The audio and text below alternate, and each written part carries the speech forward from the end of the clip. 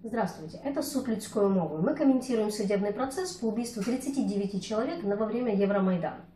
Последние судебные заседания прошли 8 и 9 октября. Мы думаем, что вам было сложно выделить 5,5 часов для просмотра всего видео. Поэтому представляем три основных момента, которые были на заседаниях 8 и 9 октября. Первое. Присутствовал запасной судья.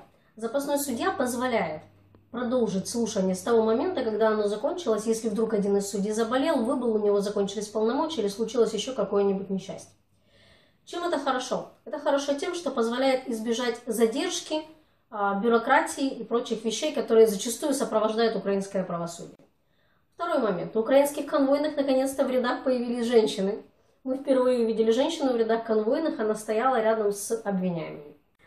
Третье. Был изменен порядок исследования доказательств. Что это означает? Раньше сначала допрашивали потерпевшего, а потом смотрели материалы дела. Материалы дела это что? Это фото, это видео, это экспертиза, это протоколы допроса и, и очень много чего другого. Теперь будут сначала допрашивать потерпевшего и в процессе того, как его допрашивают, смотреть те фото и видеоматериалы, которые он предоставляет. Чтобы каждая из сторон могла подготовиться, ее обязал суд предоставлять такие материалы заранее.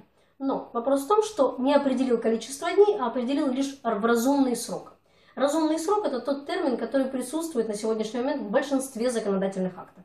И абсолютно не ведет к тому, что стороны что-либо делают на протяжении действительно одного-двух дней.